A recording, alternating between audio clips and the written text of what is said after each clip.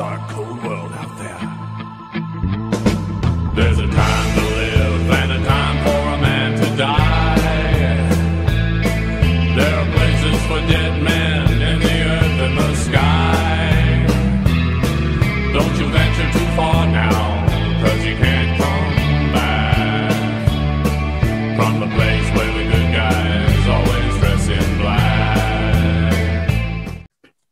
Hello, everybody, and welcome to an all new edition of Ring Respect Radio right here on the Video Bros Network. It's a new year, it's a new episode. We've been gone for a little, little while, but here we are. We're back in the flesh and on your screen. I am Bobby Munson, and joining me right to the side, if I know where to point with using these screens, he's right there. You know him. He is the man with the angelic voice. He's Papa Smokes. Papa Smokes, it has been way too long, sir. How you doing? I'm doing great, Munson, and you're right. It's been a much too long. Uh, the world keeps turning around and throwing little obstacles in our path, but we're back with a new episode. We really are, and we're excited about it. We got lots to unfold. There's a lot of things that we missed talking about over the last couple of months. Uh, but before we do that, we're going to ask you tuning in right now to go ahead and click the like button down below, subscribe to our channel, hit the notification bell. You've heard it all before if you've ever been on a video on YouTube. We need those subscribers, we need those likes because the more you do that, it more bumps our ratings up and the more people can find out all about the great content that we're putting out here on the Video Bros Network.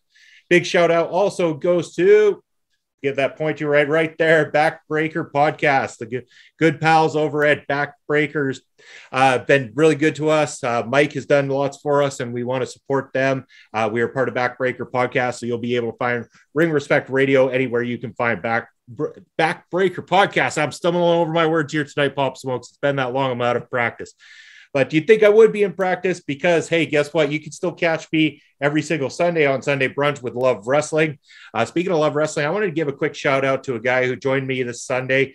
Uh, his name is Kyle Shaw.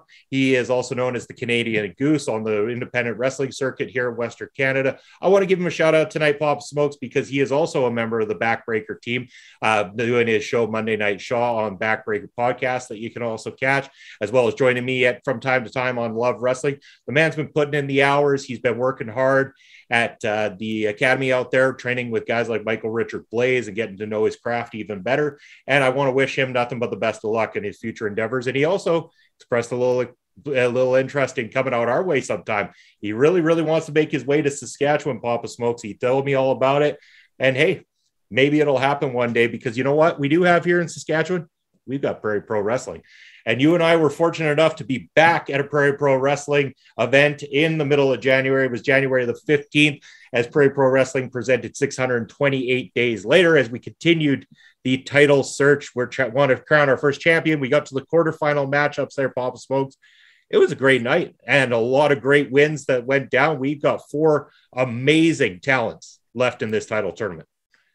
Yeah, what a good time that was, Munson. And uh, everybody braved the cold and came out that night. Very excellent turnout as usual. And, uh, you know, the video bros were busy with their uh, cameras at ringside and all that stuff. Great, great time, great tournament. And now we're down to four. This is getting really exciting. Yeah. Anxious to hand out that PPW gold, that beautiful belt we got. And uh, we need someone, uh, we need a waist for that to go around. And I can't wait to have that. We really do. And we're going to be able to get those matches to you, the fans, hopefully sooner rather than later. We've been uh, hard at work getting those together, and Bob Smokes and I need to get together to call those matchups for you. Uh, we got matchups from our October show and also the ones from January as well, too.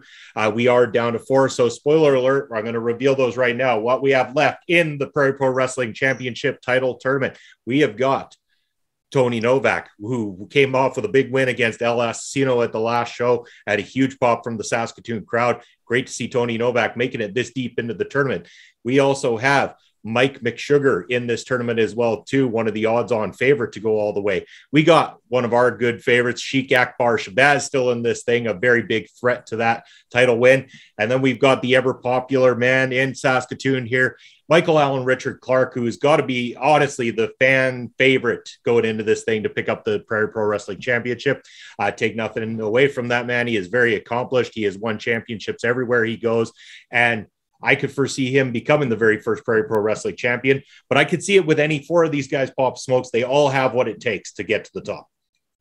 Yeah, this is just awesome. The, you can see the cream is rising to the top in this tournament. We had some wild matches, but uh, you know, not everybody can get through, and uh, the the best gets through.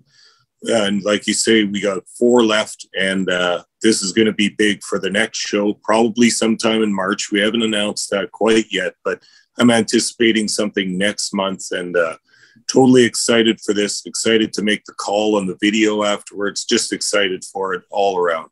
Yeah, it's going to be a great time, and hopefully you'll be able to join us when that comes to the live uh, programming as well too here in Saskatoon. And if you can, as always, check out Prairie Pro Wrestling on YouTube, where you can hear myself and Pop Smokes calling all the action from the great talent that we have here in Western Canada.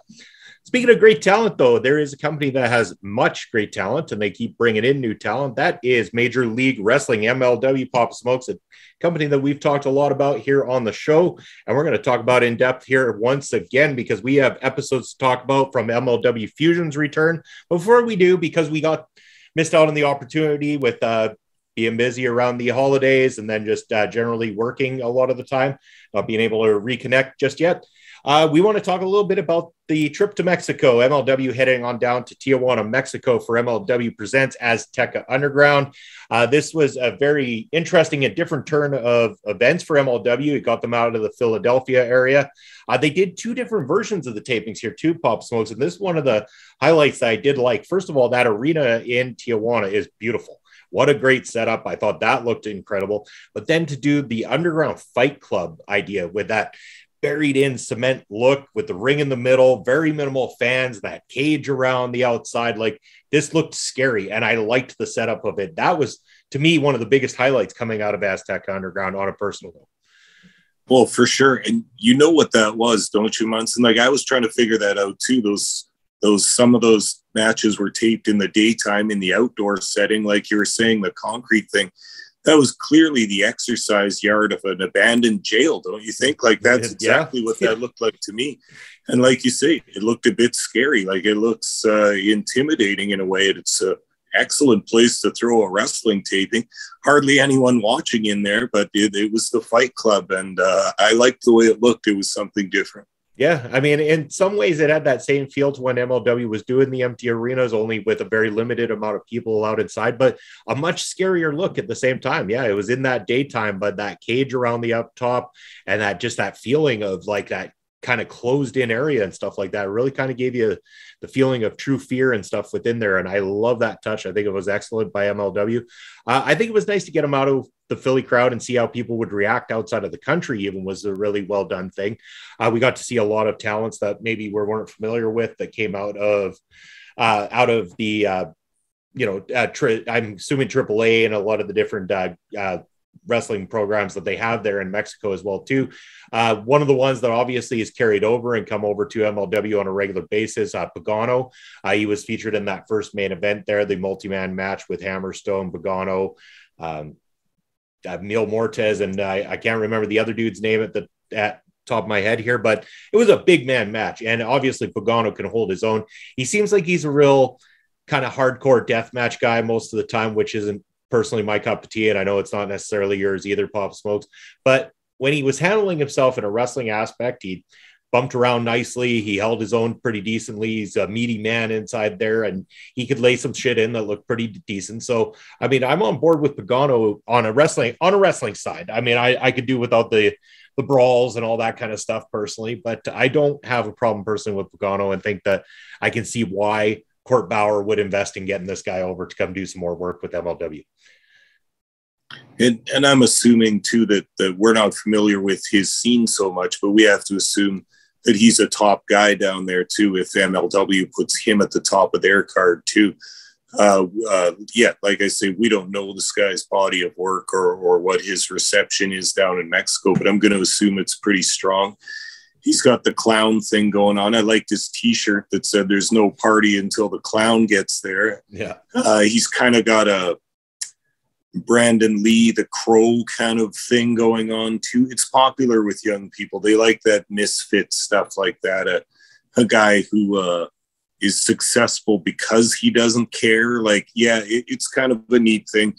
It's it's not my thing completely, but it, it's kind of like a Darby Allin type thing. It's the young kids that like him because he's a he's a, a brooding misfit kind of character, and th- I think that'll always have an audience. Oh, for sure it will. So definitely can see why they would go that direction. So, you know, a couple of highlights from Azteca Underground that we touched on there, a couple things that we really liked from it. Uh, there was a lot of featuring Hammerstone. Obviously, Cesar Duran really wants to get that title off of Hammerstone and has tried everything within his power to make this happen. Uh, we're going to get to a lot of that here, though, as we start to talk about MLW Fusion. So we're back to Fusion now. This is the start of a new season. So they've dropped MLW Fusion Alpha that we were reviewing just previously. And now we're on to MLW Fusion again. This is considered episode 132 of MLW Fusion. Uh, we kick things right off with uh, Cesar Duran cutting a promo. Uh, he is talking highly about Alexander Hammerstone, how he needs to get the title off him. He makes a reference that Hammerstone is like Texas all talk, no fight. And then he talks about how Pagano tonight is going to take that belt from Alexander Hammerstone and never will he defend it in in America again or an MLW ring. Yeah, and not to mention the the match is falls count anywhere, no rules. So yeah, yeah he's he's setting up Pagano perfectly because he wants to get the belt off Hammerstone. Yeah, and he'll do whatever it takes. So that's how we kicked off the night. And then we go right down to the ring for in ring action. We're joined on commentary by uh, Joe Dabrowski and Rich uh, Bocchini there now. I'm, I'm just getting used to the two of them being the guys, and I, I'm starting to get on board with that. I was really on board with St. Laurent and was kind of missing him, but we'll get to St. Laurent a little bit later in this episode as yeah. it is, so which is a good thing too, because I like that boy. Um, so we're kicking it off with them. Um, I also want to bring up before we even get into this match, the ring announcer for MLW. And I don't like to, I don't like to harp too much on people, but sometimes it's fun. this guy has got to be the driest in-ring announcer I have ever heard in professional wrestling. It's like he doesn't want to be there. It seems like somebody sucked the life out of this guy years ago and then slapped a microphone in front of him and said, Here, say these names on this card in front of you. Like, I just, I don't know if it's just what they want or what they're going for, but it feels so flat to me, Bob Smokes. And I just, Court Bauer, I'm right here, dude. I, will do it. I'll do it. I'll do it for half what that you're paying that guy just to do it. Come on, man. Yeah give me a call. and you know the thing is, it's funny because nowadays, I mean, since since the Fink, I guess it's kind of been the thing of ring announcers to go the other way, to go overboard. I mean, listen to that that goof in AEW, the ring announcer they have. It's just absolutely awful, right? On the the other side of the scale but this guy's just completely underplays it. I, I don't know what he's up to, but it, he, he needs to put something more into that. Yeah, just a little bit of oomph. Like, I mean, let's talk about ring announcers for one minute. And a big shout out to JG Muller, who does the ring announcing for Prairie Pro Wrestling, and I think does one of the most marvelous jobs. And this isn't just because we know him and we work with him. He is a fantastic in ring announcer. He does an excellent job, conducts himself professionally, and he has just that little extra oomph. It's not over the top he knows how to scale it back and he knows how to deliver to make it sound just right. He does an excellent job for us.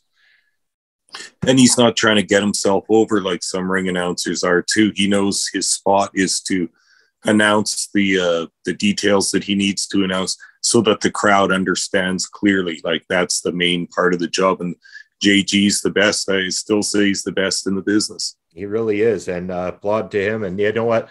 Court Bauer, you can call me, but if you really want someone good, JG Muller is your guy too. So, yeah, give either one of us a call. I'll listen to JG any day. But back to MLW's in ring action here, Papa Smokes. Talking about the first match of the evening on one episode 132. It is a Caribbean Championship match, or a Caribbean Championship rematch, so to speak. Richard Holliday challenging champion King Muertes for the Caribbean Championship. Uh, this one uh, aside from the start of it with the exchanging of chops, which once again, I know how much this drives you, would say in the back and forth, back and forth. I really think to myself when I'm watching this, why can't someone just one of these days challenge it? Like, come on, hit me, hit me. And as soon as a dude goes to throw a punch or a chop or whatever in the exchange format, grab him, feed him three times, back him into the corner of thing. It's so unexpected at this point. At this point, everybody expects you to go back and forth, chop for chop, punch for punch, and everything. I just wish guys would mix it up once in a while now. Yeah, me too. And and you know, even uh, aside from chops and uh, and stuff, the they just use those those forearms, those phony looking forearms where you just kind of lay it along the side of the guy's neck or whatever. Don't worry about whether it really comes close or not because it's it's just a it's just an exhibition. Like I, I don't know. Yeah, I don't like these spots at all. Why would you invite and let a guy hit you? Yeah. Well, that's what I keep thinking to myself. Like, dude's gonna throw a punch at me. I might invite him, but I'm only luring him in to punch punch him out right away. Kind to of give him, yeah, to take one to give him four. You know, yeah. yeah, exactly. So, but with that being said, that is probably my nitpick of the entire match, which is pretty good because the match itself is good. I like both these yeah. dudes. Richard Holliday looked really good in this matchup. He really got to show off his strength. He wasn't trying to sell that he had been hurt from previously or anything like that. So there's nothing bugging him. Uh, so this one went really decently. Um, yeah, you had a bit of a screwy finish there with the uh, Azteca henchman coming out for the distraction, but I think this was the way to make Holliday not look weak in defeat at the same time. He still looks strong. He went toe to toe with a guy who I would consider a main eventer in MLW with King, King Muertes and had to get screwed out of winning his championship back. I think this was a good look for Holliday, a great look for King Muertes, who continues to rack up the wins in MLW. And I, I like this. This this this was a strong start for me. Yeah, me too. I I always like Holliday's matches. I think he's a good wrestler he's confident. He's uh, totally in control and cool in all of his matches. You can see he never gets messed up in his spots. He never flubs any of his uh, moves or anything like that. Because he's athletic and strong, he can do all that stuff. Same thing with Muertes. You can see that he's a little bit older and a little bit rickety. You know, like when he when he bends down to like do stuff to Holliday when he's lying on the mat, you can see that he's like pretty stiff and all that stuff, and maybe doesn't have so many years left in the ring. But hey, it's his look, man, and his whole persona. He's already over. Muertes is is terrifying, as we said from the very first time he came to MLW. He's so big. He's got the crazy eyes. He's got the cool mask and the Aztec outfit with the feathers and the the skull and the whole death thing. Like, I mean, he's over. It's good shit. Yeah. So, I mean, if there's a couple of uh, small deficiencies in his in ring stuff, and I mean small, he knows what he's doing. I mean, he's good. Uh, it, and you get the same kind of pretty decent match out of him every time. And uh, this was no exception. And uh, he went over on Holliday with a little bit of interference and uh, this, as we'll talk about in the future here, of course, has has a significance to what's going to happen, but we're not going to talk about that quite yet. But this was good. I like this, and and we've been talking about Holliday for a long time now too. That he's good, but he needs his chance. He needs his big match or his angle or his moment, and I think this is coming as well. We'll talk about this in a little bit. We sure will. We're going to get to that. And speaking of guys who are having their moment, and a guy who we've got to see start this whole thing with Azteca Underground and uh, get to do another part of it here. And probably one of the most intriguing things I've watched on MLW television outside of the quality matchups that have been there. This sit down with Jacob Fatu, this real life sit down where he got to explain his entire story. And man, I could have watched a whole Ken Burns documentary on Jacob Fatu talking about his story. I mean, this was excellent, Papa Smokes. I think Jacob Fatu is fantastic. This did not ruin any of the mystique of how much of a badass this guy is. This just added to it, in my opinion. I mean, the guy has had a rough life. I mean, he brought up the fact that he wasn't really all that interested in wrestling and carrying on this family legacy of pro wrestling like all his cousins and his brothers and stuff want to. Uh, you know, this is something that came into him much later after he kind of ran with the wrong crowd, got in some trouble, things like that, and then decided to start getting into the pro wrestling scene. I believe he mentioned, was it it the Usos that got him training or got him into it or he spent a lot yeah. of time in the backyard with the boys anyway and they talked about yeah. doing learning that moonsault that he does came about from jumping from a trampoline into a swimming pool in the backyard or something like that that he would consistently yeah. do in order to be able to hit that spot properly and just so much that unfolded in these times sitting down with Jacob Fatu. I'm like, you know, you could have done two episodes of MLW Fusion of just this, I would have been a happy man. Yeah, absolutely. Just like you said, it was kind of neat. It didn't uh, it didn't pull the veil back to the kind of character that he is on TV. It was it it solidified that even more. And I mean, to set the stage, he's talking about the tough life and the streets of Oakland and all that stuff. And he's doing the interview. He's kind of sitting in an alley, like it looks like a little concrete ledge where uh, loading trucks pull up or something. He's got a bottle of booze half finished and he's puffing darts the whole time. He's a real dude, man. Like, and he doesn't give a shit. Like, he'll sit there and talk about his stuff. Very conversational guy. Um, was very interesting. Brought some emotion into it. Talked about some of the uh, rough stuff he's seen on the streets. Because yeah, it sure sounds like he was up to some pretty bad stuff for a while there.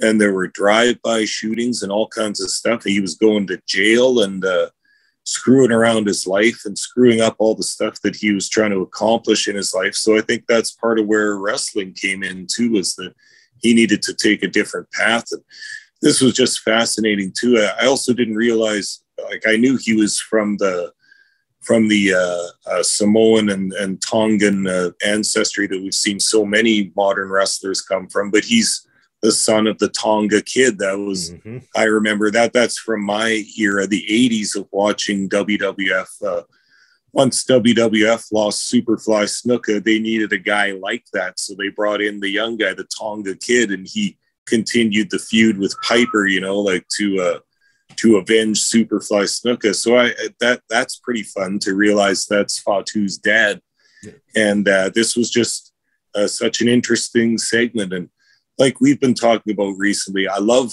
when shows do that, give you a little personality profile upon the wrestler, and you get to know the guy a little bit personally as well as professionally, and uh, not just watching his matches, but uh, hearing the guy talk about his life, and uh, just adds a different uh, layer and a different level or some more color to the uh, to the performers there. And uh, this is a guy I've been curious about for a long time because there's not even all that much information online about Jacob Fatu. I get the impression he's kind of a more private guy, but here we go from from his own lips, uh, just furthering his uh, his uh, reputation as a badass and uh, as a cool guy. And I totally like this. Uh, were there three or two or three segments of this? I, I was I was uh, glued to my screen. Very very interesting two for sure. And I I don't know if they repeated one or if there was a third one. It doesn't matter to me. I just kept watching them. I, I've gone back and rewatched and everything because I found it so fascinating, like you say. And again, yeah. I wish more of this was done where it doesn't feel like you're forcing a guy to try to be a certain person or talk a certain way. This feels like a legit dude being like, I had a troubled life. I settled down, learned how to kick shit in the ring and now I'm, you know, now I'm taking names who's signing up. And like, and that's how I felt coming out of this. I'm like, this does not worry me in the least about Jacob Fatu moving forward. I think this is only going to put him over more with the MLW crowd. He's got his big fight coming up here. Uh, actually, you know, as we're recording tonight, it's actually airing as we speak. So yeah. against uh, Mads Krugger, and you know, all the darkness from Mads Krugger in his promos, and we'll talk about that in a bit too, has been interesting. But Jacob Fatu has come across real and come across just as intimidating, I think, and scary when it comes down to it, to the point where this is going to be one hell of a fight, and I'm looking forward to it. And this was the best way to build this thing up. For sure, and uh, you notice that he uh, he didn't even really talk that much about his current situation in wrestling. He said. Uh, you know the black flag has been taken down and uh, Contra ain't around anymore, but uh, I still have unfinished business there. Hammerstone, I want my belt back and you and I are going to meet one of these days. Might not be today or tomorrow, but I'm coming for you and I'm going to get my belt back. What more build up do you need, really? Right? Like this, this already has me hooked because the match last time was so anticipated and so good. And now, just with those small handful of words, it's like, okay, good. I'm so glad that the rematch is at least in the conversation of being made. And uh, God, I can't wait for a Fatu Hammerstone 2. Yeah, I can't wait either. It'll be a good one. Uh, so after the Jacob Fatu segment, which pretty much stole the show there, uh, we had a yes. video package. And the video package, like right now, we won't say what it is. It's a TV, it's a uh, hourglass, TikTok, someone's coming. Again, pretty much everybody online was able to decipher what this meant right away as soon as this came on. I think they actually played it during the Azteca a week before and alluded yeah. to it. And it was pretty clear what this was going to be. But we'll get there because they actually say it later in the show. We got the notes, so we'll talk about them in a little bit. Uh, so after they played that little segment, which caught my attention, we finally get to hear from our good friend Saint Laurent, fellow Canadian Saint Laurent, finally getting on the TV there it seems like they got bigger things in store for them than being on commentary every week to week. It sounds like maybe St. Laurent is going to be a pro wrestling manager down at ringside. He's got somebody, he said he's found the best pound for pound fighter in the entire world, and he's bringing him into MLW. And I keep thinking to myself, pound for pound fighter. Now it makes me start to go down the path of has he gone after somebody who has like an MMA mixed martial arts actual fighting background or is this going to be a very large individual that he has found from the wrestling circuit? It leaves it open to debate and I'm very curious to find out what is up the sleeves of Mr. St. Laurent.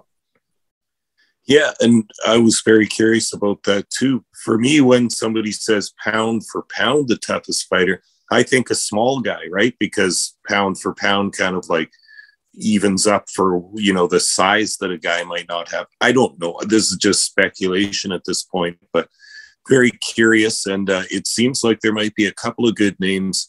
I'm glad if MLW is getting a good reputation for guys to come in and do uh, do uh, segments or do spots or do one-offs uh, uh, for the company because it only benefits uh, us viewers and hopefully the company in general in the future.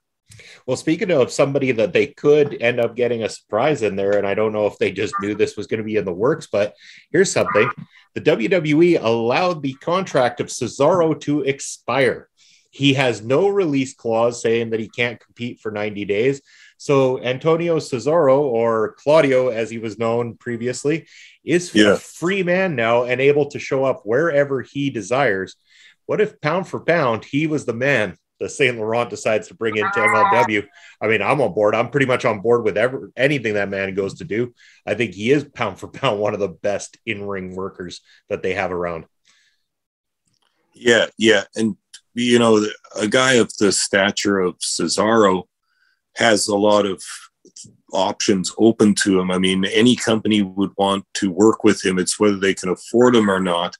But he, I don't think he fits in every major company around here either. But I think MLW would be probably the best fit for him. Can you imagine him going to Tony Khan's company and just being lost in the shuffle? They're a great talent like that, and doing jobs for uh, uh, undeserving guys on TV like that would just be awful. But uh, MLW, he can get in there with some good guys. He doesn't have to do um, job matches or squash matches or anything like that. He can get in there and ha- do a little program with someone that can handle it, you know. And uh, I, I, would love it. But uh, again, time will tell. I guess with the without his no compete clause, we might find out sooner rather than later. I'm sure we will because I mean the time's uh, ticking on his time in the ring. I'm sure too. At 40, 41 years old, I'm sure he's going to want to pick somewhere pretty quick to uh, get wrestling and get down there uh, right away. Because I mean, again, that takes a toll on your body. And as we were mentioning about King Muertes earlier in the show, it it starts to take its toll, and he's not going to be able to do the things he once did in a few years' time. So get it in now while you still can, and then adapt accordingly in order to keep your career fresh. Yeah, and so after uh, the whole bit with Saint Laurent, we'll guess we'll find out uh, what he's got going on there pretty soon. I'm imagining Super Fight is when we're going to see that debut. I believe that is mentioned later on, and we'll get to that. Uh, up next, we've got an interesting matchup. We've got Ikuro Kwan, who we've both sang the praises of quite a bit on Ring Respect Radio, taking on the judge EJ Nduka, who we, for other reasons, have sang the praises of here on Ring Respect Radio. And I think after seeing this match, I, am going to stick to the same kind of praises. EJ Nduka looks like a star. He has got a great physique, a great look. He stands out of the crowd. He is still very, very green. And it is noticed in his work inside the ring. Um, I'm not knocking him. He he can get there. He's very capable. He's a big boy. I think it's just one of those things of he's being exposed because they can't always protect the, the guy inside the ring. Uh, they got to get him in there with some of these guys. And I, I, mean, I guess from my standpoint, I can see the greenness, but I hope that it'll adapt and get better. And I hope we get to see EJ Nduka grow because I do think that there is star quality in EJ Nduka. But Ikuro Kwan, man, awesome. Just everything he did inside that ring, I enjoyed it. I always enjoy it. I think it's great. And we got to hear him promo after this matchup for. But is this yeah. the first time? I think they even mentioned it. The first time Ikuro Kwan has got on a microphone and he wants another fight. He's calling anybody out, and then he specifically asked for Jacob Fatu on top of it. Yeah, and how cool is this too? Because on one of our previous episodes, this was after a War Chamber. I had seen on Twitter that Kwan was saying uh, about MLW, they're telling me they don't have anything for me, and that it look it was kind of looking like they might just not use him after kind of folding up Contra, and you could feel his frustration in a few of those tweets. That's why it's so fun to see him have a match on all these episodes, using him as a job guy, which is fine, which is totally fine, but um, still coming out to the contra video and everything, but he's still got a spot there and he's still working there and he's still pushing his name and his uh, his style and everything. And I'm glad to see this guy there because I think that's one of the cooler guys they have. He's not flashy. He doesn't win a whole bunch of matches. He doesn't have belts and stuff like that.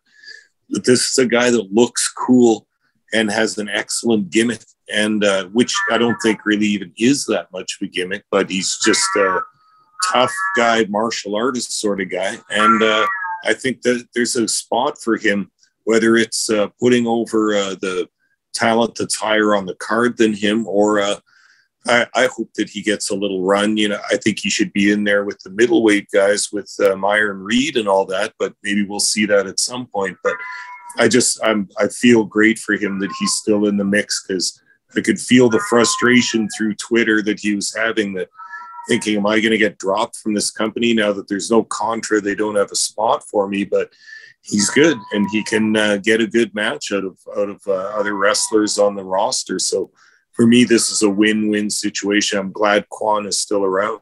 Yeah, well, here's a thought. Maybe he needs the ring respect bump here. Uh, maybe we need to reach out to our yeah. good friend Ikuro Kwan, get him on the show, and watch yeah. his star rise, just like our good friend Budd Heavy did uh, after yeah. last year being on ring respect. So Ikuro Kwan, consider this your call out, man. We're going to be reaching out to you. You're going to be hearing from the video bros very soon, and hopefully you'd be interested in joining us on an upcoming episode of Ring Respect That'd Radio. be awesome. I really I'd think like it would be. But speaking of awesome, we did get to see Jacob Fatu come out shortly after that for the first time since the War Chamber. Speaking of War Chamber, and he beat the shit out of our good buddy Ikuro Kwan there. I mean, he he laid him in hard. He put him through that table. Man, Ikuro Kwan looked worse for wear after this one was said and done. And Nduka had already put him through hell too, man. That finisher that he did, that sort of uh, front choke slam thing, man. The bump on that just looked absolutely brutal, man. Like I, I don't know how you can protect yourself from that. I think it just hurts tremendously. And then man, Fatu working him over and the splash through the table, like, whew, he must have been sore that night and the next day. Yeah, I feel bad for the guy, but man, he took it took it like a pro, that's for sure. So good on you, yeah. Ikuro Kwan, and great spot yeah. overall. I mean, it's a nice win for EJ Nduka. I mean, we kind of trailed off from EJ for a bit there, but again, he looks like a star. It was kept nice and short so that he looks really dominant and strong in the process. But Ikuro Kwan still got to get some of his shit in there as well too. Um, and Nduka will grow. I really do believe that Nduka will grow. I think he wants to grow. He wants to learn more. And the best part is, is that physique and that look just screamed superstar. So as he starts to adapt that in ring stuff to match that look, I think MLW's got a prize on their hands. I think so too. And there was one other thing I wanted to say about Nduka, just to add to your point there too, is that in the in the old days before the internet and all that, I think uh, federations such as MLW that had a potentially big star like EJ Nduka could keep the guy hidden for a bit while they trained him. They would get him working with a bunch of their experienced wrestlers and some other trainers before he got on TV so that he had some uh, excuse me, some better experience by the time he got on TV. But nowadays, you can't really protect guys so well. The fans know uh, that where each wrestler is, and uh, I, now you just see people getting developed on TV, so that it's just a little difference of the business nowadays. You have to get your guy out there and get him, get the fans familiar with him, get a few uh, uh, asses in seats in the arenas that want to see him. And uh, they're just try and bring the rest up as you go. But you can start building the guy's brand before he's actually uh, capable of having an excellent match, sort of thing. I think that's what they're going to do with Nduka too. Have him smash some dudes, use his huge size and power to to get over. And I, I think it is getting over. I think it will get over, but uh, he's a work in progress. I, I think he'll do good he was a professional athlete and a football player and all that. He'll pick this up too, no problem. Yeah, I couldn't agree more. And I mean, I think I, I want to see the guy do well. I think the chatter that you're talking about, like getting the buzz going about him, that has worked excellent. He has helped get himself out there. People are taking notice because he stands out like a sore thumb. He again, like he's got that million dollar smile. He's got that. He's a good looking dude. He's you know fit as fuck. Like I mean, this guy has got it all. So all you got to do develop that in ring, and man, the, the world will be talking about EJ Nduka in a year's time. I strongly believe in that. Uh, uh, moving on from there, we're going to go back to talking about that promo that we saw earlier in the night or that video package that we saw. The reveal was Killer Kross. Obviously, this is a big return that we got coming up at MLW Presents Super Fight. They mentioned there's going to be a lot of big debuts, a lot of big returns and a lot of uh, legends coming back as well too. And we know that some of the legends coming back. Uh, we got Ricky the Dragon Steamboat. We've got um, the pardon me, I know that there's more. Gangrel has taken on Big Beef Gnarles Garvin in a matchup. Uh, we've got, I believe, Ricky Morton is there, if I'm not mistaken, as well, too, competing and everything. Uh, this it's huge. And then on top of it, Killer Kross, hot off his uh, release from the WWE, uh, where they apparently wanted to make him look like something out of Mad Max back in 1980. Did not work out there, but he's going to work out just fine on the MLW circuit. I believe that he's been there before. He knows the place. I think he's going to come back with a huge bang. But I've also been seeing these videos online, and I'm not going to go too deep into them, but I believe there might be some link up there with the Rotunda family at some point, whether that crosses over into MLW or somewhere on the Indies. We'll wait and see. But I think uh, Killer Kross has got a uh, phone call into good old Wyndham Rotunda there that's uh, still lurking in the in the shadows somewhere. But yeah, looking forward to Killer Kross's debut at Super Fight. Uh, again, that'll be taped for MLW uh, Fusion uh, matches down the road. I can't wait till that one airs. I'm really looking forward to the return of Killer Kross to MLW personally.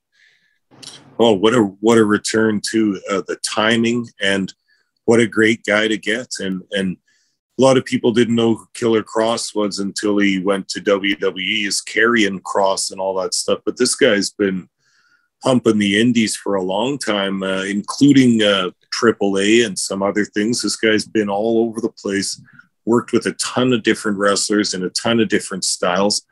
Good stuff, man. And, and if he's getting stifled in the in the big corporate uh, wrestling world, then good. Let let him come back down to where he's more comfortable. I think Killer Kross is an excellent talent. He's got an awesome look. He's huge. He's scary. He's a pretty decent wrestler and a good promo. Perfect man, and a great place for him too. MLW, he fits there. there there's there's guys he can work with there that, that he can have good programs with. So I'm tremendously excited to I'm not sure whether he'll be on the heel or babyface side. I'm trying to like think of some uh, potential dream matchup sort of thing. But again, I, I, don't even want to look into the future. I just want to see what they have for him, and I'm going to watch it and enjoy it. Question is, does his wife come along with him and start to enter uh, down to the ring with him? Not only that, the potential to enter the uh, MLW featherweight division as well too. I mean, there is a yeah. lot of great potential in the signing of Killer Kross to MLW. Yeah, I was also wondering if Scarlett would be along for various reasons too. They look great together and they're a great package. So I say use them, but we'll see what happens. For sure, we will. And that's coming up on February 26th. So this, uh, Saturday, I believe, or to, it's either Friday or Saturday. I can't remember. But anyway, Super Fight taping this weekend, and then the matches will start to release as Fusion gets rolled out on to YouTube. But speaking of, let's get back to the episode 132 here. Right after we got that announcement, we get a promo for 5150. They are now as well the IWA tag team champions, as well as the MLW tag team champions. Good on you, 5150. Um, they've been an excellent team. I like the look. I think they the two of them complement each other extremely well with their in ring work and stuff like that. Slice Boogie is such a talent. I, I really like this dude. I think his in ring work is phenomenal. Um, I think it's you know, I mean, as a tag team, I like that it's keeping that that way because I think this is going to work wonders for the two of them for a long time to come. And I believe that they're both young, great future ahead of them and they're cutting this promo about the uh, taking on Los Parks. They're also saying they're dedicating it to uh, Konnan, who's out with surgery. They want to fight for Konnan, even though he can't be there with them at next week's matchup. Uh, again, another great promo from 5150. Uh, this one probably even more bogged down and a little bit more realistic feeling from the two. They weren't over the top here. They were talking about just the the love of Konnan and what he's done for them and doing this for him kind of thing. I thought this was a nice change of pace promo wise for them, and I really enjoyed it.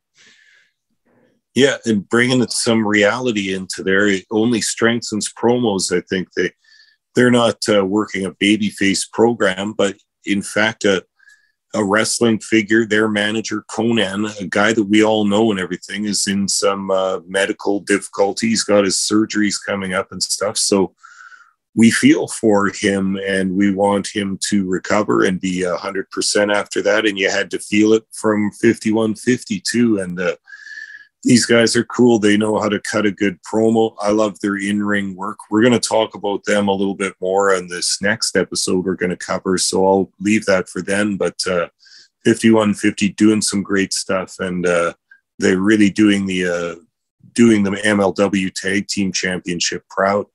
Yeah, they really are. And, uh, you know, I can't wait to talk more about them in a little bit here. But we got to go down to our main event of the night from episode 132. It is the Falls Count Anywhere Brawl, No DQ, whatever they're calling it this week match between Alexander Hammerstone and Pagano for the MLW Heavyweight Championship. Uh, as always, before the championship match, they do a little video package where they show all the former MLW heavyweight champions throughout history. Always a nice little package to be able to see, to see the lineage of the title, and to realize that as long as MLW's been along, that is not a very long package of guys there. That is a who's who of people that have held the MLW championship. So this is uh, going to be a big opportunity for Pagano being able to go in there and fight for what I would consider to be a very prestigious championship in pro wrestling. And my favorite thing about that uh, historical package of the champions is just that Mike Awesome was champion of MLW back in the early 2000s. What a what a worthy champion! I, I love watching his shit, man, and I would like to see much more of his MLW stuff. I got to go back there and watch more of that. He he was a, a one of a kind talent for sure. Yeah, he really was, and it was great to see them be able to be up there every single time um, yeah, so nice little video packages that starts out. We know that the the history between Pagano and Hammerstone started with the Azteca uh, matches. There was a lot between these two guys going on. Um, Cesar Duran really wants this title taken off of Hammerstone. This was mostly just not my cup of tea. Pop Smokes. Like, there was a lot of brutal hits from the guys. There was the one spot that stood out, even though I don't really care for it, was those sticks in the top of Pagano's head. It was kind yeah. of sick looking. It was interesting because I haven't seen that exact spot a thousand times recently, despite most of the stuff in this match kind of falling into that. Okay, I've seen guys through trash cans. I've seen guys getting hit with chairs and tables and all that kind of stuff. That was the one standout when it comes to the weapons use in this matchup. When these two guys locked up. When they actually do some back and forth hitting and wrestling type moves, that's what I wanted to see. I really think I could have enjoyed a regular one on one match with Hammerstone and Pagano on this show. I think, again, for this, this to me went a little bit too long for being a hardcore, you know, beat the hell out of a guy with weapons type match. It really held a lot of the time slot on this one. Hammerstone taking the win. Good for him. Um, he gets that win under his belt. Uh, another successful title defense. But again, just the match itself wasn't my cup of tea. I don't know what your thoughts are, Papa Smokes. I'll turn it over to you on that one. No, I agree with you 100%. I'm not a huge uh, hardcore death match kind of guy. I, I, like it in small doses, or if there's one match, you know, uh, that a that a company does throughout a few months. You know, if there's a big feud, they have a hardcore blow off match. That to me makes sense. But when you have multiple cards where all the matches are hardcore, it's just too much. It's ridiculous. But anyway, for this particular match, yeah, yeah. Uh, I always like Hammerstone stuff. He's pretty good and everything. Pagano was good, but this whole match with the entrances and everything was 24 minutes long, and that that's just too long. Mm-hmm. Um, maybe they didn't have much else, or they didn't have some an extra match for these tapings or whatever, so they let this one go along. But uh, too long, too much uh, silliness outside the ring, and the you mentioned those sticks getting stuck in Pagano's head, which is kind of different, kind of a little bit funny. But then you saw Hammerstone trying to pull them out. He couldn't pull them out. he knew he jammed them in there pretty good. That kind of had me wincing when he, you could see him trying to pull them out and he couldn't yank them out. Good God, man. How, how hard did you jam those in his forehead? yeah, it, it was definitely a sick spot. And again, like we were talking before the show went on the air about like some of the legends that have done spots like that before. I mean, again, we're not 100% against it. It's just that there's, I guess in this case, that it seemed like we had already seen Pagano and Hammer back and forth with hardcore this and no DQ that kind of thing because that's what most of Azteca ended up being for the for the most part. Um, so this felt like they didn't have the kind of payoff that we were talking about. And when we've seen so much of it in recent history, uh, memory with all the Azteca stuff, I felt this is the show where we needed to have kind of more of a pure wrestling night. And then we ended up with a no DQ matchup as the main event. Fell a little flat yeah. for me personally, is all. Yeah, uh, same with me. I, I, think we can move on from this. Hammerstone retains, uh, and uh, Pagano goes back to Mexico or uh, until his next MLW appearance, I suppose. But probably uh, increase the value of his name just on these couple of MLW uh, performances in itself. So he's happy about it too. Yeah, I mean, we know who he is now. Didn't know before, so yeah. I mean, he's done done that. He made an impact enough to let people know who he is. Good for him. Um, then that's the show. Ah, just kidding. Um, no, that wasn't the show. Actually, after that, we were expecting a interview uh, with Hammerstone in the ring. Richard Holliday down at ringside. Alicia Atout's going to interview Hammerstone, and what do you know, Papa Smokes? The heel turn happens. Alicia nut sacks Hammerstone right in the middle of the ring there, takes him to Dick Kick City on that one. And uh, then Richard Holliday goes in for the kill on Hammerstone. Alicia and Holliday working together. They work over Hammerstone, and everybody is unhappy. Although I kind of thought to myself as I saw this, and I'm remembering an episode of Ring Respect Radio where there was a promo after they found out that Hammer was going to defend against Holliday for the title. And we were saying it was really goofy in the way it was presented. And I said it almost felt to me like they were foreshadowing a Holliday heel turn and that he'll turn on Hammerstone in the exact fashion that he just described. And here you go. It happens right in the ring. I couldn't stop thinking about it when that happened. I thought it was quite entertaining. Yeah, that and if you want to bring up uh, predictions from old episodes too, go even further back to when uh, Hammerstone and Atout first started their little backstage kind of uh, uh, meanderings there, and I said, Munson, you can cut the sexual tension between these two with a knife, hey? And that was from the very beginning. My yeah. God, now look at them, eh? Making out wildly in the ring. Such a sexy couple. Yeah, they really were. but uh, you know what? I'm on to I'm on to something here, Bob and Smokes.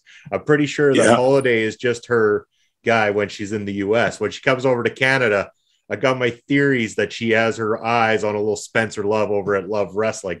And I'm bound to prove it. I'm going to send Holliday the proof if I can get it that your girl, Alicia Atout, and Spencer Love are in cahoots behind your back, Holliday. Be warned, I will find the proof. Scandalous, Munson. Scandalous. Who's the journalist now? this guy. anyway, that was the episode that is 132. Overall, decent episode. The heel turn was very impactful, uh, even if the final match wasn't quite as impactful. The uh, heel turn at the end was great.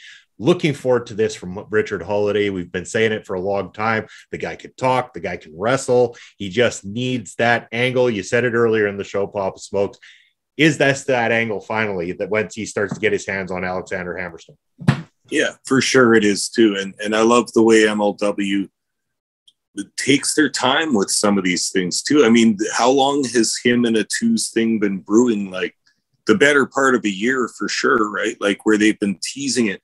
They're so patient, and I love that because then by the time they get to it, you've almost forgotten about it a little bit, right? Like very, very clever and uh, yeah, th- this episode wasn't uh, completely exciting, but the climax at the end really, really furthered a lot of stuff. Really got the tongues wagging, and uh, they all, everybody on the internet talking. And as you can see, uh, you know, speaking of social media and such, Holliday and Atout really pumping it, making lots of videos on their own time. Just the that sickening, annoying couple that you that you really hate to see with their public displays of affection all the time. I think this is going to be a hot program, and I, I, I have the feeling they're both going to do good in it. I want Holliday to succeed, and, and like we said, he needed that angle and everything. This is his moment, and I want him to get over big time. Yeah, and I think he will. I think he fits the heel role better too. Like is playing the oh, baby oh, yeah. face at the side of Hammerstone was was draining. I mean, let mm-hmm. let's admit it. We were getting tired of it. We were getting tired of the silliness.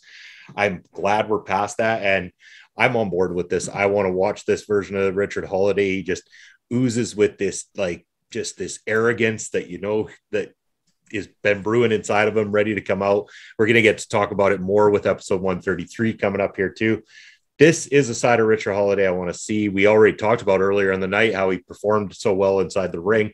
Hammerstone better watch out. I mean, this eh, Richard Holliday might have been screwed in that match earlier in the night with the distraction, but a focused Richard Holliday with Alicia Atout in his corner could become a very big threat, if not the one to maybe overcome Hammerstone for that championship. Yeah, and can I'll just ask you, Munson, can you see Holliday as champion? Like it almost seems like he needs a few more big matches under his belt, but I could totally see him carrying the belt for a little while at least, right? Like maybe not a year long run or something like that, but I could see. Uh, I think he's ready to do some uh, top of the card type action, and uh, they, like I say, this is his big chance. And with his buddy Hammerstone, uh, these guys know each other. They have an opportunity to make some magic here, and uh, I'm so excited and uh, anticipating this match somewhere down the line in the future. I don't think they've said when it's occurring yet, have they? But uh, yeah. But you, you do start to wonder about the lingering idea that Davey Richards better watch his back come super fight because yeah. I have a funny feeling that Holliday does not want Hammerstone to lose that championship, despite what Cesar Duran is wanting. But we'll Interesting we'll find out soon enough as those matches start to happen, though, Papa Smokes. So that's 132 in the bag. We're going to talk now about MLW Fusion episode 133, which appeared last Thursday night on YouTube. Uh, we started this one off in a different fashion, and this was something I kind of liked. We went straight down to ringside with Joe Dabrowski and Rich Bocchini. Dabrowski says he's got a uh, an interview lined up, and there, Calvin Tankman, who has been missing for quite some time. Apparently, uh, Alex Kane had his people uh, have Tankman basically arrested. Uh, there was a restraining order put against Tankman, keeping him away from Alex Kane. And the sponsorship deals from Crybaby Tank Crybaby yeah. Calvin have been yeah. quite entertaining for me. I love where this has been going. Um, Alex Kane and Mr. Thomas come out. Calvin managed to swing in, get a punch on Alex Kane before they're separated completely, uh, keeping these two apart again. This this has been fun. I and, and fun in a I believe these two disliking each other sort of way. I believe all the things that Kane would go about to really just get under the skin of Calvin Tankman like he has, putting restraining orders against him, making sure that he can't be in the same arenas as him and everything. It makes Kane look like a total, like just I, I, I don't want to say piece of shit, but for a lack of better words, it seems like he's a real piece of shit human being that would do these things. And at the same time, Calvin Tankman is being shown as a bit of a hothead too. He allows Kane to get under his skin. He allows them to get to him, and he wants to swing those punches and do those things that allow Alex Kane to keep Calvin Tankman at arm's reach at all times so that he knows what to uh, in there for him. He knows how to keep away from him. And it allows us to have that separation long enough that we don't have to immediately have Tankman in the ring with Alex Kane and have that payoff within a month of this thing starting. Yeah, absolutely. And that speaks to uh, the patience of MLW booking that we just were talking about a few minutes ago is keeping these guys apart, having them interact, but keeping them physically apart. And uh, you say Alex Kane's acting like a piece of shit, and that's true too. But you got to remember, he's protecting his championship all the time, right? Like this is a classic heel move. Is that he, he's not going to say it, but he's scared of his number one contender, so he's going to use by hook or by crook any method he can think of to keep that guy physically away from no matches, no title shots, no nothing but just give him cheap shots every now and again, keep him pissed off, but uh, never let him uh, get his one uppance on you. So, uh, uh you know, obviously, we're probably going to see this uh, open weight championship match happen at some point. But again, I like the patience of Court Bauer and his bookers that just keep the two apart for a while and keep that tension building, keep it at a low boil for a while then there will be a show in the future where it comes up perfect. Let's put these two against each other and let them go wild in the ring. Yeah, I'm I'm loving it. I like all the guys involved. I mean, especially like Tankman and Kane are just fantastic. They're in, great in-ring yeah. workers. They both can talk extremely well. I mean, I've become big fans of them without having to see a ton of matches, even uh, just from how they conduct themselves. I really enjoy it. I think this feud is going perfectly well. Kane is superb. What a talent. I mean, his in ring work is fantastic. He works a microphone perfectly, just some of those smug looks on his face sometimes. I think I've said it a million times like, just watch more Alex Kane because Alex Kane to me is star quality in every sense of the word. I think this guy should be at the top of professional wrestling. I am a big Alex Kane fan, and I'm not afraid to admit it because Alex Kane kicks some serious ass. Yeah, absolutely right. And uh, this is going to be good. I can't wait for the payoff of this feud. And uh, who knows? Maybe we'll see Tankman have a run at that uh, open weight championship too. And uh, imagine him with the belt too. He'd be another guy pretty hard to unseat. Yeah, really would. At least they're uh, keeping that belt amongst the big boys here, amongst the uh, top stars in MLW as well too. That title has got quite the bit of prestige, being that only one man had held it up until Alex Kane and nobody has ever won it from defeating the guy who has it at this point yeah. in time. So a lot of prestige behind the National Open Weight Championship, and I'm looking forward to that payoff. Speaking of payoffs, hey, anytime this man is in the ring, it is a payoff for me. We get Davey Richards match on MLW, always a top quality match when I see this guy in the ring. We were talking before this went on the air. I think this guy is on a whole different level when it comes to his mat game and taking on ACH, who we know can put on a good show. ACH handles himself well inside that ring, a good professional. He's been around a long time. And this was exactly that. I thought, uh, again, I still think that I've seen some better Davey Richards matches, ones that I liked a little bit more than this, but this one still a lot of great mat wrestling as you expect to see in a Davey Richards match. Quality from both him and ACH, great selling. Uh, there was that really, I mean, you got to say. I mean, the spot with uh, ACH running up the ramp over the top rope into the cutter was nailed perfectly. It was a nice pop. The crowd loved it. I thought it was cool at the same time. And for a split second there, I'm like, shit, are they going to have ACH put the first win over Davey Richards? Like Davey Richards pulling his first loss in MLW here in Texas. I mean, ACH, he's the hometown boy at this point. I had yeah. started to wonder when he went up for that frog splash and, and nailed it and two and a half. That was a false finish that worked for me, and it worked really well. Yeah, and if you do them right, they do work good. They'll pop the entire crowd. But yeah, to the to your point with this match, uh, uh, I don't think it was a huge surprise. You know, wondering who was going to go over in this match, but ACH is one of those uh, competitors that even if you kind of suspect that he's going to do the job, he works good in the ring, man, and you then he it can create uncertainty in your mind as to whether he's going to go down for the count or not. And uh, they're very clever in laying out these matches in MLW. Sometimes uh, you don't see it on the big channels anymore. The the logistics of when to do your two counts and when to do your false finishes and et cetera, et cetera. But uh, for me, this was a match of uh, uh, even though it's the second episode after uh, Azteca Underground segment, this was MLW getting back to an MLW match. You know what I mean? A sports yeah. style match where uh, uh, you watch the guys kind of shoot grapple for a little bit for a while. You know, like both those guys are accomplished grapplers. You know that they're probably just saying, "Hey, let's just wrestle for a little bit at the beginning." Neither of us uh, is going to get the advantage so much, but let's just do some stuff because they're pros and they can do that. We've watched uh, various wrestlers do that over the past years and such. Bryan Danielson, a big, uh, a big uh, supporter of that kind of style. Hey, let's just wrestle for a bit at the beginning and uh, take the first four, five, six minutes and just grapple for a while. I like this, but uh, you kind of knew what was going to happen in this. Richards has got the big championship match against Hammerstone coming up. He needs a couple of convincing wins just to get him in the fans' mind as the number one contender, sort of thing. And uh, he'll be a stiff challenge for Hammerstone, especially after the fans have seen him pin a very game opponent in ACH.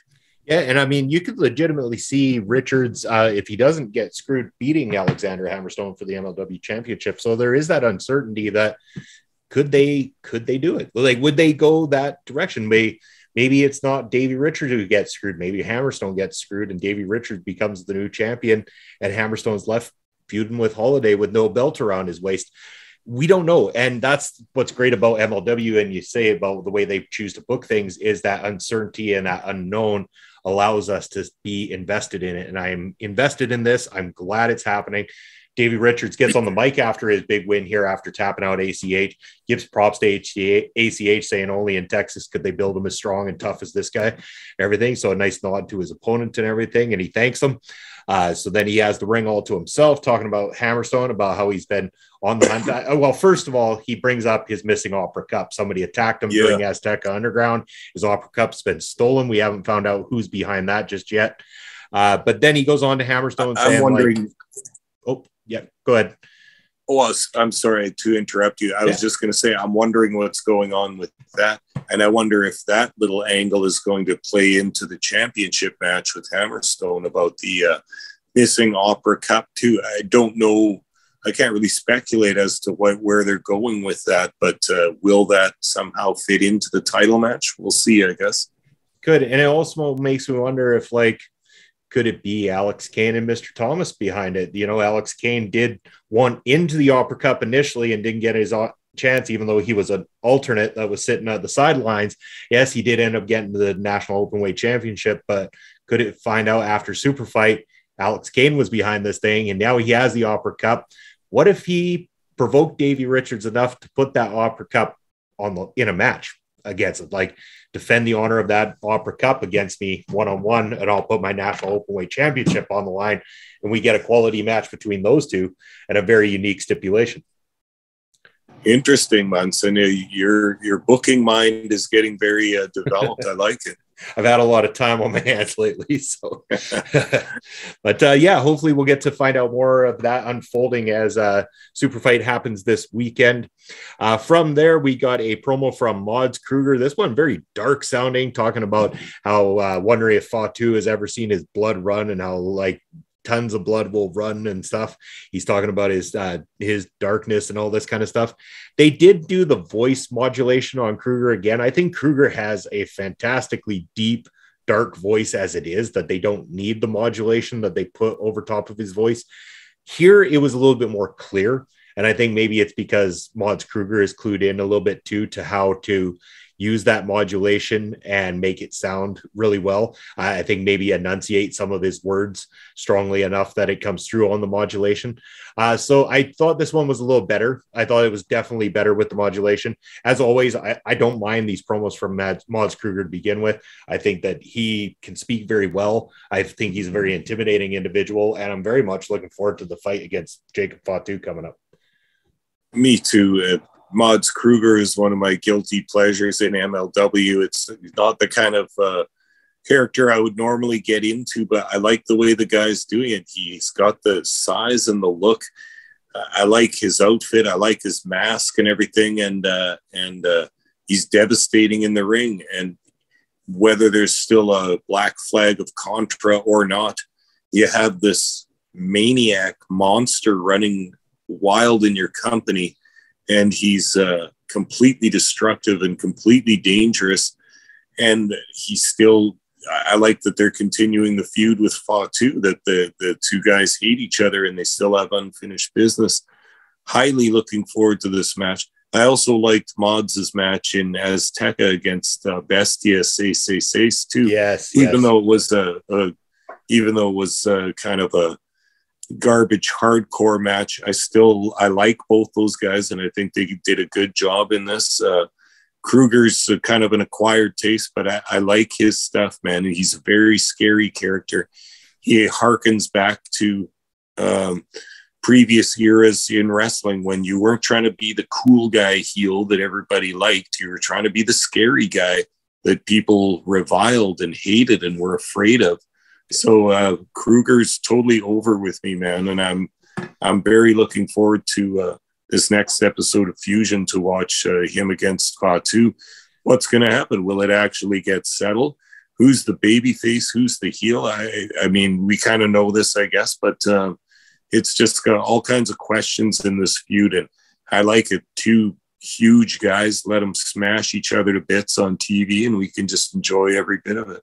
Yeah, it's going to be fantastic. And I'm glad you brought up the Bestia Seis Seis Seis part. Uh, I, that was one of the things I kind of forgot to mention was Bestia Seis Seis Seis and Mecha Wolf actually getting the opportunity to wrestle Yeah. in MLW individually. Uh, they are also the NWA tag team champions. They've been tag team together for quite some time. Right. And they actually are a really strong tag team. I love their work as a tag team. They actually do a lot of traditional tag team styles and everything like that. Um, I think they're a couple of really cool wrestlers, and I think uh, think the world of them. I hope only the best for them, and I was glad to see them both get their opportunity in MLW. And I'd love to even see them take on 5150 in an MLW ring. That would be kind of an interesting uh, turn of events and a great match to see down the road as well too. Very much so. Uh, from there, speaking of programs, I think uh, we had more promos. Yes, we had Saint Laurent was in uh, Cesar Duran's office talking about his pound for pound best fighter. Uh, Duran seems very pleased with what uh, Saint Laurent's bringing to MLW and uh, proposes a trios match because we see a lot more trios matches in MLW these days uh, with the crossover from uh, AAA and Azteca. Uh, so we're going to get a triple threat, or sorry, trios match. Sorry, not triple threat match uh, that will include uh, the debut of the new guy bringing in by Saint Laurent. So I'm kind of curious to find out who this is. I'd imagine again this is going to be something going down at Super Fight. But then they're interrupted by Myron Reed, who we've been not seeing on TV as of late. It's been a little while since we saw him, the young goat. Comes in, he wants his rematch for his middleweight championship finally. Uh, we've seen this defended only once, I believe, since it was won. Tajiri defended it over in All Japan Pro Wrestling in a very interesting match that was taped there for MLW at the same time. I, I had almost kind of forgot that Tajiri was the champion because they haven't really done a whole lot with this going forward. So this got brought up, and I was like, okay, I, I'm on board with seeing Tajiri versus Reed for that title. And then it goes into a triple threat multi man match because why not? That seems to be the way with a lot of the MLW stuff lately. Uh, so we're gonna get a another mystery man because we got so many mystery men coming in to fight. Uh, it's the night of mystery men coming up this weekend. So we are going to have Tajiri versus Myron Reed versus a mystery opponent. I often wonder when was this segment filmed? Was that mystery opponent supposed to be Lio Rush until he picked up another injury and will not be able to perform? As far as I know, I don't know the extent of the injury. And do they have a really strong backup plan for this match? Yeah, I wonder too. And and when you see uh, matches booked with mystery men, you you know that it's probably not the federation trying to trick the fans. It's they don't have a guy yet, or they had a guy and it's not working out. So who knows? I mean, uh, yeah, I'm sure it was going to be Lio Rush because they were starting to uh, uh, tease that he was coming by name and everything. They had a little video uh, thing pumping that uh, Rush was coming back. Didn't he just retire again like a month or two yeah. ago? But uh, I'm not going to complain. Yeah. yeah, I'm not going to complain. I actually like his stuff. I like his in-ring mm. stuff, and he's a he's a good slimy heel. But uh, yeah, I also agree with you. They need to get that middleweight title back in rotation. Get it back to. I, don't want to say it this way, but bring it back to the states and and get get it being defended on your TV and uh, get some of your uh, uh, middleweight competitors on the roster involved in this, such as the Lio Rushes and uh, who are we bringing up before that would be a good uh, addition to the middleweight roster. There's a few guys that could get in there, and uh, including a bunch of those luchadors that they're pushing to Aramis and Arez and all those guys could get involved in this scene too. And and uh, yeah, give Myron the young goat his shot back at a, at the belt that he held proudly for so long. But just let's let's get it back on TV and, and back into circulation because uh, it's very popular. Those, those middleweight or lighter weight matches are what a lot of the fans like these days because you can get your 480 splashes and your hurricanranas and your flying moves all over the place, and uh, it'll bring viewers to MLW. But let's get it back in circulation. Yeah, the other one I kind of want pondered a little bit for the mystery man here, and maybe it is a full-on mystery man this time, is they did say that Will Ospreay was on his way to MLW. I thought it was originally mm-hmm. planned for January, but we know that didn't happen as far as like as far as I know, there was no talk of it. I haven't heard any reason why Ospreay wouldn't be coming in uh, for a little while. So it could be Ospreay. That's another thought. I mean, he kind of fits that middleweight to, uh, moment and you know he's he's got enough of a name status on the scene that i believe that that would make for a massive pop uh, when they go into charlotte if Ospreay were to show up at the show to be a part of that matchup uh, it would add definitely a different element to the match as well too i mean Ospreay's style is nothing like reed's or tajiri's at the same time i think that we It'd be interesting. It'll be a multi-man match, though. Pop Smokes. We know what we think of those. Sometimes I think I would have uh, a little more on board with Reed versus Tajiri one on one. I would have been pretty okay with seeing that one-on-one matchup and maybe giving Myron Go his moment to beat a legend like Tajiri inside that ring clean and go over big time as the as the middleweight champion for that would be the third time I believe. Yeah, that's I think that's the good choice. Put it on Reed and then start to work on a, a roster opponents of opponents for him to defend against. Whatever your plan is booking wise for the next champion, don't worry about it great. Have Reed uh, is quite adept, is is quite capable of handling the champion's job. Put him on tour and give him a, a handful of good opponents, and uh, you got to raise the stake of this championship as well because it just isn't getting defended on TV so much. Same with the open weight belt. Really, I'd like to see Alex Kane defend that title a bit more. What I think maybe or what would be my suggestion for them to do is make one of those two titles kind of like a TV title yeah. and have it defended, if not every single week on TV. I realize it's kind of difficult with uh, tapings in different cities and all that, but have it regularly defended on TV. That way, the fans can kind of like, uh, uh, you know, attach themselves to that championship and the guys surrounding that because we don't really see very many championship matches either. I mean, have we seen Hammerstone have two matches since he won that belt last year or something? Uh, yeah, I believe so. Logano and maybe maybe somebody else. I can't remember now, but uh, I just I think they should have more championship matches on TV. Make that open weight or the middleweight championship more of a TV based uh, belt. Yeah, especially like with the middleweight championship, if you could do like a semi-monthly thing, maybe Myron Reed is your champion. He comes out, he's reaching out to the local talent. Here's your opportunity to be on our program. Come on out here, give me the fight of your life. And you could have a bit of back and forth competitiveness, but have Myron Reed going over in decent fashion against guys. I mean, that's when you start to be able to utilize your your Robert Martyrs of the world and guys like that that, that work in a local town that have no problem going out there, giving Reed a uh, you know a quality match inside that ring, and then being able to put him over and make him look like an absolute superstar as the middleweight champion of MLW and really bring a lot of life back to that belt. I'd, I'd love to see it. I think you're onto a great thing there, Papa Smokes. Uh, speaking of great things, uh, the next segment is brought to you by Crybaby Calvin, the sponsorship. this was too funny. The reading of this, again, continuing on with just how much Alex Kane is trying to get under the skin of Calvin Tankman. I believe they made a shirt of this too, if I'm not mistaken. Yeah. Like they went all out with this crybaby Calvin thing.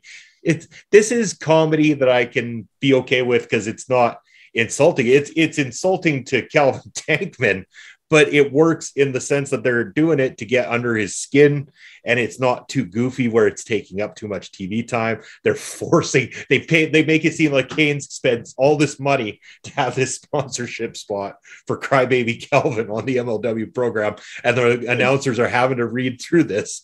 And I was chuckling. This is comedy done right for me. I can get behind it. I, I love this. This was fun because he's trolling the announcers at the same time too and Bocchini saying do i have to read this? Like because it's just totally putting down a guy on their roster too. And i i love this. This is comedy well done well placed. It's logical because these guys don't like each other. You know they're going to mock each other.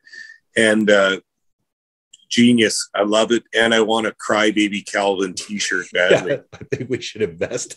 I think that would be fantastic. So uh, speaking of fantastic Papa Smokes, the next segment is a matchup plus a video package. And I'm not going to complain about either of them. I mean, eh, we can nitpick them, but I'm never going to nitpick anything that involves our good friend Budd fucking heavy, man. Budd fucking heavy yeah. back on TV. Yeah, boy. Uh, so we got Big Beef Gnarles Garvin back into the picture, and he's got this video package out in the MLW parking lot. We got some big belly beer drinking guy out there with him, and Gnarles Garvin's talking about wanting to beat up guys and drink beers, and that's all he's about. And he's going to grab himself a Bud Light out of the back of the truck, and who should be lounging and sleeping in the back of the truck? No other than our good pal Budd Heavy.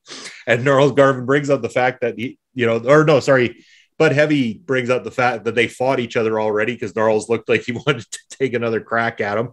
And then he said, Well, what are we going to do about this? Well, let's drink beer. So now we got a beer drinking, fun loving tag team of Gnarles Garvin, Big Beef, and Budd fucking Heavy. So we got now we've got what uh, Bud Beef or Big Heavy is the tag team here. We could go a lot yeah. of different directions.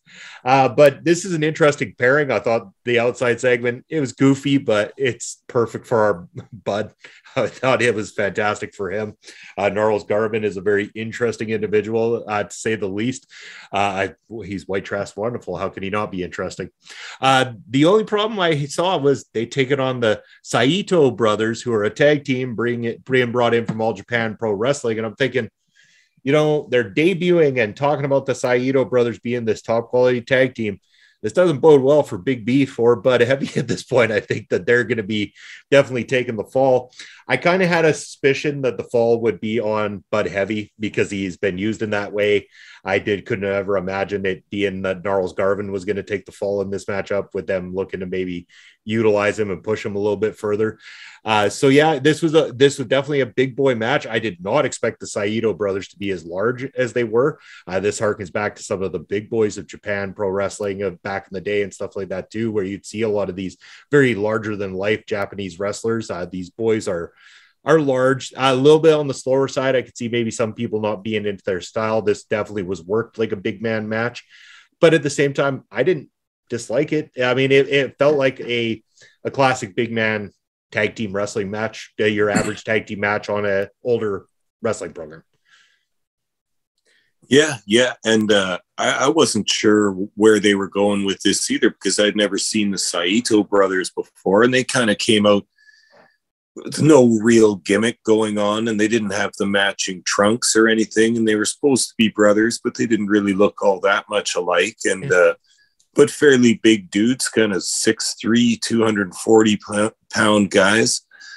and I wasn't sure who was going to do the job here or not. I, was, I was kind of hoping that uh, Garvin and, and Heavy were going to go over in this match. Maybe that was going to be their new kind of tag team type thing. I would have been on and board. oh, uh, yeah, I'm always so glad to see Budd get on TV and do well, and and uh, I think this is an interesting and, and logical team up to have Garvin and, and Heavy. But um, yeah, this was a pretty okay match. The Saito brothers looked green as living hell. They were, Mm-hmm. you could see they knew their spots in the matches and everything, but they were, like you said, they were slow. They were uh, just in their movements. You could see they they weren't uh, seasoned workers, kind of thing. But apparently, uh, this is going to be a team that they might give a little push to. I'm not exactly sure, but they got the win this night. I like the way uh, they worked over Budd Heavy for a long time, and then he got the nice hot tag to Garvin and the nice diving hot tag from uh, from Budd Heavy. I also like the way the uh, the commentators had that one spot. Budd was laying on his back, and the Saito guy was standing on his stomach. And uh, Dombrowski said, "He's six three normally. He's seven feet when he's standing on that stomach." Just- that was brilliant, absolutely brilliant. And I mean, you know what, Budd Heavy, if you're listening in, man, like good on you. This has been fantastic seeing you more and more Yeah. on television. And again, I, I I got excited. I was behind the team. I I would love to see them carry this team on. I think the two of them have just that right kind of, you know, the, the- they have that right kind of chemistry that I think could work as a team. I think they could almost be like that underdog team. Like Big Beef is more of the the fighter that could get the job done and stuff like that. Budd might be the guy who's drags them back a little bit, but all in all, when they got that hot tag and Beef came in and started laying in those double clotheslines and stuff like that, I was popping pretty good. I was like, yo, I, I like Yeah. this team.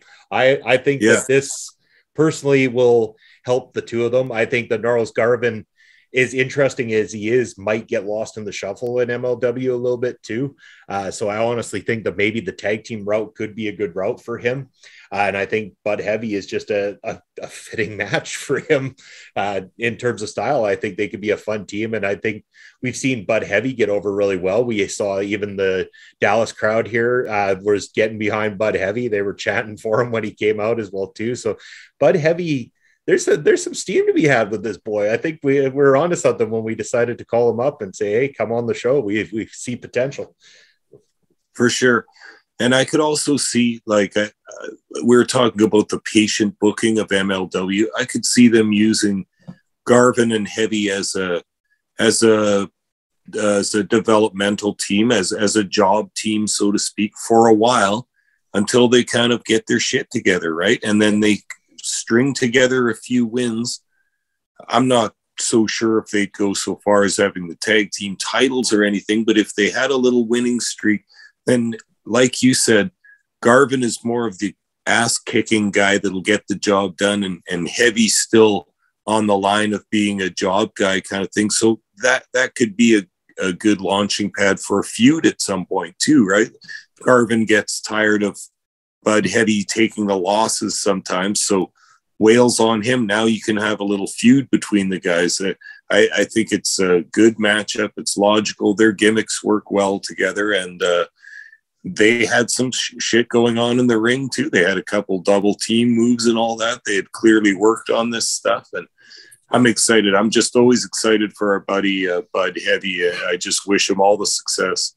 Yeah, me too. And uh, it was good to see him again on TV. Hope we get to see him more uh, coming up soon. And you know what? We, we just need to have Budd Heavy on the show again sometime, and we'll have some fun. And, Yeah. uh, get him Yeah. back out. I mean, he's just a good dude to talk to. So anyone watching that hasn't heard of Budd fucking Heavy, go check the dude out. He is a wonderful human being, and you will really enjoy getting behind Budd Heavy. Uh, so after that matchup, the Saito brothers picking up the win. We got a, a video package, I guess. This was the Dynastic Valentine's Day with Alicia Atout and Richard Holliday. A, uh, this one, uh, it, it served well for what it was. It was them coming off heelish, like they were just into each other. Everybody else is scum, Hammerstone scum. Richard Holliday mentioning that he knows everything about Hammerstone. He knows his weak spots, he knows his injuries, he knows what to exploit when it comes to Hammerstone. And in this promo, I start to believe Holliday that much more as a guy who could eventually go and beat him. And again, like I say, with uh, Alicia Atout in his corner, again, that has been the turning point for a lot of wrestlers in history too. Is you get the right person in your corner that can cause the distraction, make the interference, whatever it needs to be. If uh, they utilize it right and Alicia gets involved, again, it's very believable that Holliday go- can go over as a champion. Yeah, and I like this uh, interview segment as well because uh, kind of like what you were just saying it's a classic wrestling trope that when a tag team breaks up and one guy becomes more popular or more successful or gets a belt, who is he most vulnerable to? His old tag team partner, because that guy knows him and that guy will come in and kick his ass every single time. So I, I like this. This that's the perfect kind of tension to build because uh, people would say, well, I don't think Holliday can actually ha- stand up to Hammerstone. I haven't seen him have the big matches and the big wins that Hammerstone has. Yeah, but he's in Hammerstone's head. He knows him mm-hmm. so well. He knows his injuries, he knows his weaknesses, he knows his strengths, what to avoid and what to go after too. And that's a classic thing from all the tag team uh, tag teams that have broken up and feuded over the years. No one knows you as well as your ex partner.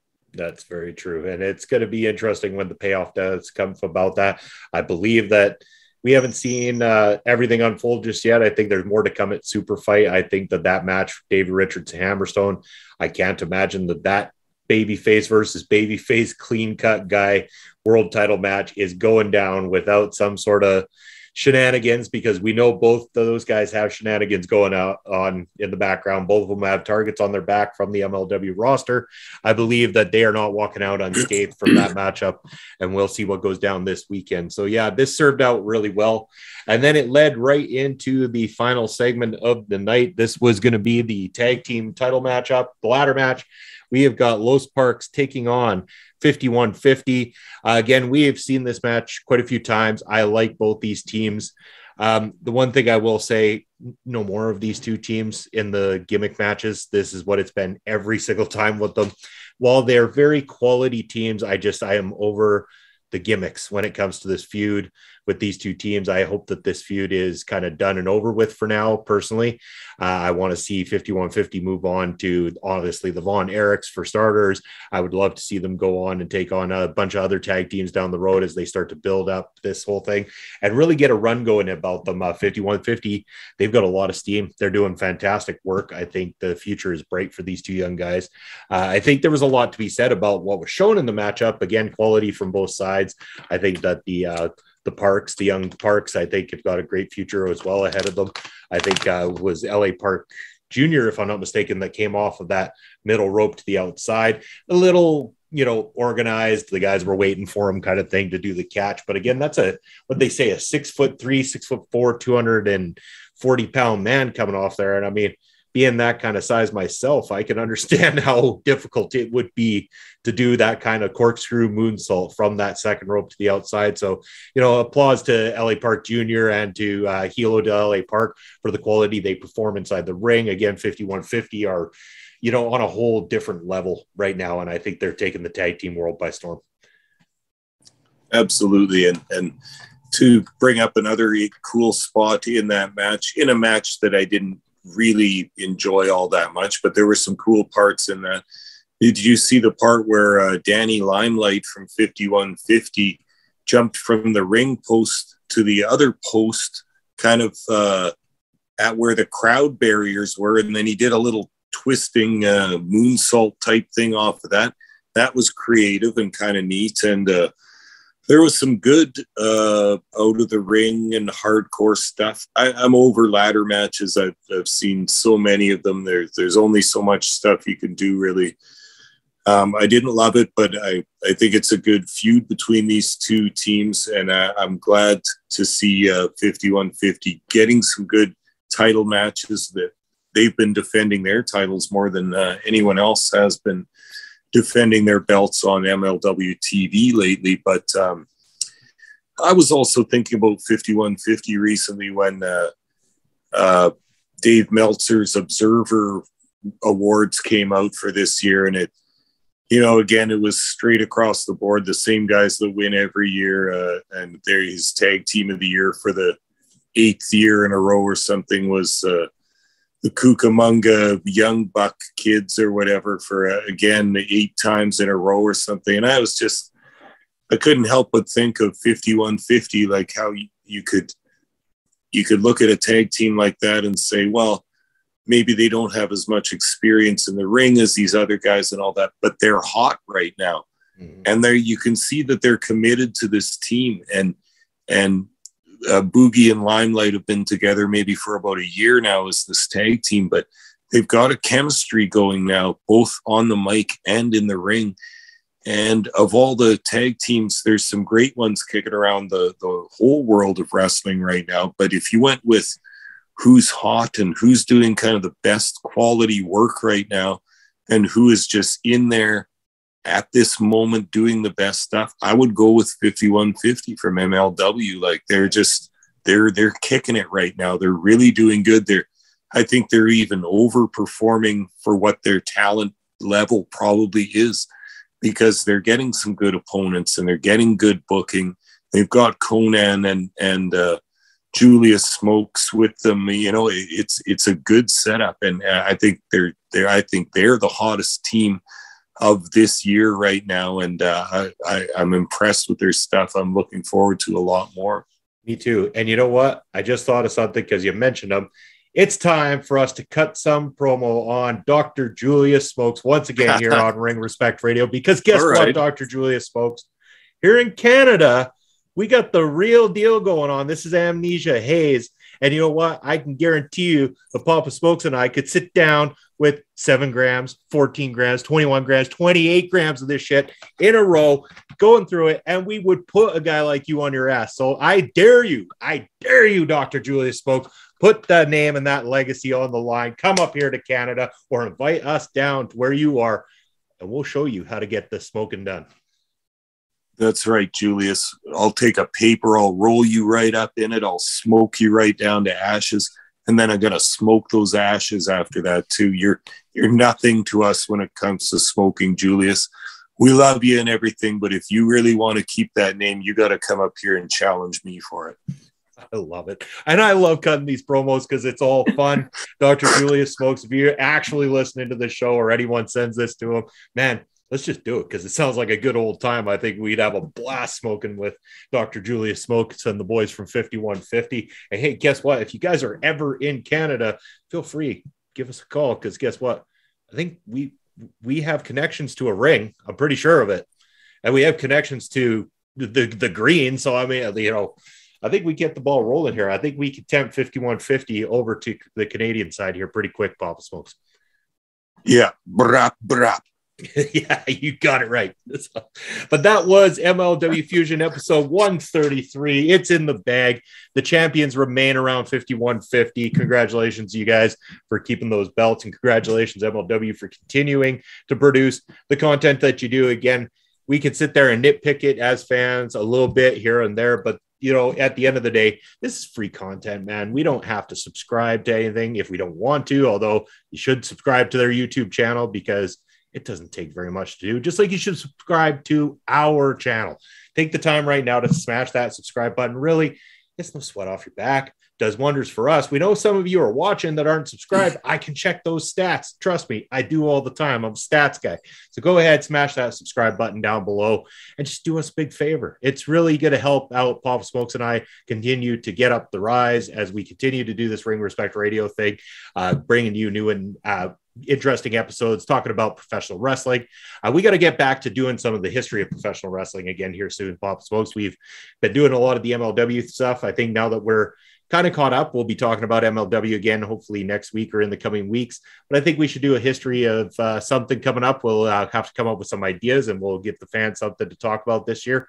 And also, we got to get together to call some matches. We got some Prairie Pro mat- wrestling matches that are ready to go uh, back from October. We got some of the ones ready for January as well too. I'm excited about, especially from the ones from January. We did some upgrades to some of the equipment. We got some better at ringside cameras. There's some fantastic footage in there and some fantastic wrestling. It looks great.